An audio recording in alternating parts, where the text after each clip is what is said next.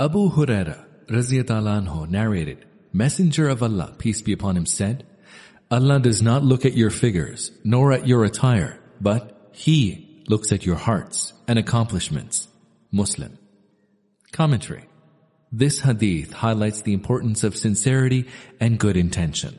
It is therefore essential that every noble action should be based on these two virtues, and heart should be free from all such things that destroy noble deeds. Hypocrisy, ostentation, greed for wealth, riches, and other worldly things fall in the category of such evils.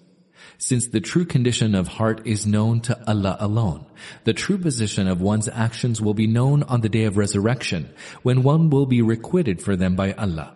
In this world, one will be treated according to his apparent condition, while his insight will be left to Allah. 8. Abu Musa al-Ashari anhu reported that Messenger of Allah, peace be upon him, was asked about who fights in the battlefield out of valor or out of zeal or out of hypocrisy. Which of this is considered as fighting in the cause of Allah? He said, He who fights in order that the word of Allah remains the supreme is considered as fighting in the cause of Allah. Al-Bukhari and Muslim. Commentary.